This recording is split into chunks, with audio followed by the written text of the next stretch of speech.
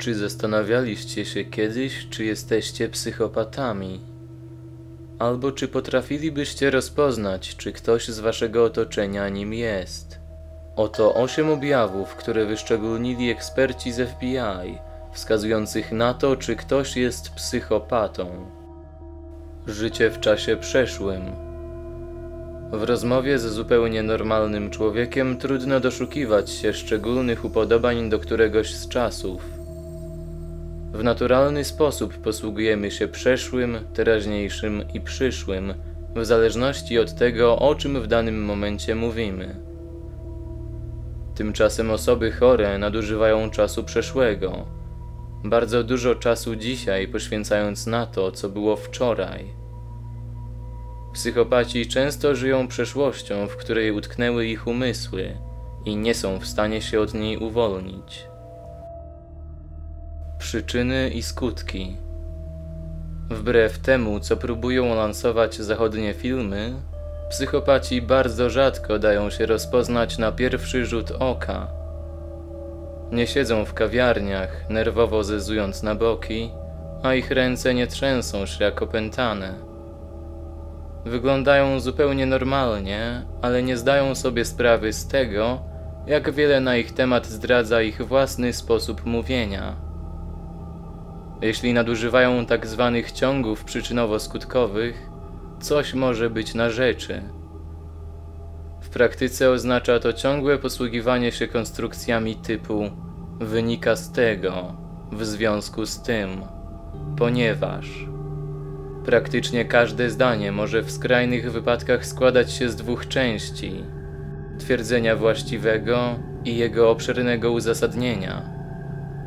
Mózg chorego tworzy wówczas własne standardy logiczne, którymi psychopata uzasadnia swoje działania. Brak poczucia winy. Co by się nie działo, to zawsze nie jego wina. Psychopata, choć równie dobrze może to być przeciętny Polak, widzi nawet najdrobniejsze przewinienia innych, a kiedy sam nie dopilnuje czegoś naprawdę poważnego, zawsze znajdzie innego odpowiedzialnego za nieszczęście. Albo przejdzie nad problemem do porządku dziennego, jakby zupełnie nic się nie stało. Psychopaci zazwyczaj nie mają za grosz poczucia winy ani poczucia odpowiedzialności. Są jak dzieci, po których zawsze posprzątają rodzice. Podstawowe potrzeby. Chory koncentruje się przede wszystkim na własnych podstawowych potrzebach Bywa tak, że nie potrafi skupić się dłużej na niczym innym. Potencjalny psychopata opowiada więc bardzo często o swoim mieszkaniu, jedzeniu czy ubraniach, zdradzając ponadnormatywnie dużo szczegółów i używając do tego co najmniej dwukrotnie więcej słów niż człowiek w pełni zdrowy. Zaprzeczanie. Psychopaci mają ograniczone postrzeganie świata, a ich umysł podąża sobie tylko znanymi drogami, obcymi dla ludzi zdrowych. Zawężony światopogląd sprawia, że chorzy nie są w stanie racjonalnie ocenić sytuacji, a potem tej oceny konsekwentnie się trzymać. Często zdarza się tak, że na wybrane pytanie psychopata nie chce odpowiedzieć wcale albo kłamie, ale już na pytanie o takim samym sensie tylko minimalnie inaczej sformułowane, odpowiada bez wahania i wprost. Psychopaci potrafią sobie zaprzeczyć nawet w tym samym zdaniu. Mowa ciała. W ostatnim czasie pojawiło się bardzo wielu ekspertów od mowy ciała, gotowych w każdej chwili zakrzyknąć oskarżycielsko: Kłamiesz, widząc, że ktoś mówi ze skrzyżowanymi na piersiach rękami. A fakt, że mówca stoi w samym podkoszulku na 20-stopniowym mrozie i cholernie marznie, nie ma dla oskarżyciela większego znaczenia. Niemniej jednak mowa ciała kompletnie rozmijająca się z tym, co mówi dana osoba, to kolejna cecha charakterystyczna osób cierpiących psychicznie. Manipulacja. Z tym akurat bywa różnie.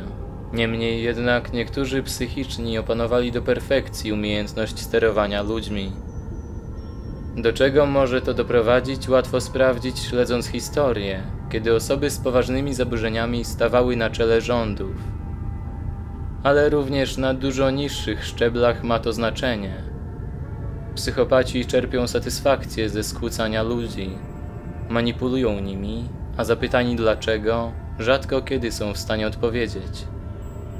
Ofiary psychopatów podkreślają, jak bardzo ich oprawcy byli dwulicowi i w jak wielkim stopniu nadużyli ich zaufania.